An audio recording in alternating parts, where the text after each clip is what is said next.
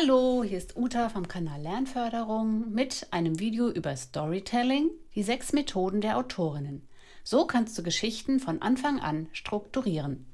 Und in diesem Video geht es jetzt um die Methode Nummer 4, die heißt Tragedy. Wie immer bekommst du natürlich auch ein Beispiel zu dieser Methode. Deine Geschichte, die du schreiben willst, soll traurig und emotional sein das Ende soll berührend sein und vielleicht zum Nachdenken anregen, dann eignet sich diese Methode. Für diese Struktur gibt es drei verschiedene Methoden. Ich zeige dir hier eine ganz klassische Storytelling-Methode mit traurigem Ende. Davon gibt es drei und die erste davon, die erfährst du in diesem Video. Ein kurzer Überblick nochmal zu deiner Orientierung. Es gibt drei Methoden von Geschichten, Erzählstrukturen mit einem guten Ende, nämlich Rag to Rich, Man in a Hole und Cinderella Story. Und ebenso gibt es drei Erzählmethoden, die mit einem schlechten Ende enden, nämlich Tragedy, Icarus und Ödipus. Hier endeten die Geschichte auf jeden Fall immer tragisch oder traurig. Die gesamte Playlist kannst du dir natürlich auf unserem Kanal anschauen.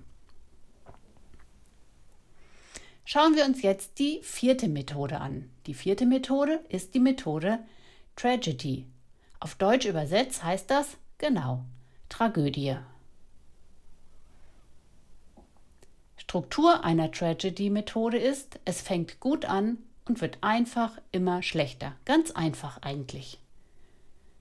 Du hast zum Beispiel ein Paar, das sich verliebt und sehr glücklich miteinander ist. Und dann passiert etwas. Es geht abwärts. Die Situation verschlechtert sich. Und zwar Schritt für Schritt. Alle beide sind aber gute Menschen, denen man nur das Beste wünscht. Aber das nützt ihnen nichts. Es geht ihnen immer schlechter und schlechter und am Ende ist meistens einer tot. Sehr tragisch. In dieser Geschichte geht es eben einfach immer nur abwärts. Es geht darum, dass die wichtigsten Personen der Story scheitern, obwohl sie ihr Bestes geben. Es sind gute Menschen, Trotzdem gelingt es ihnen nicht, die Situation zu wenden. Dabei geht es oft um Liebe, aber auch um Schuld, Trauer, Verlust oder auch Vergebung.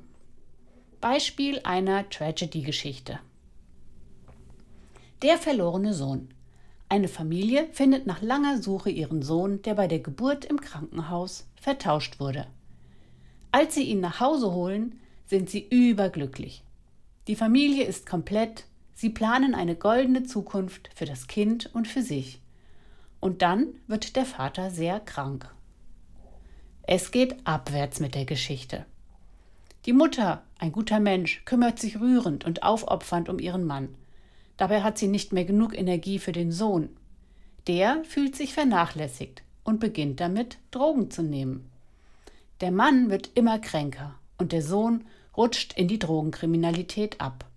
Am Ende sterben Mann und Sohn und die Mutter bleibt verzweifelt alleine zurück.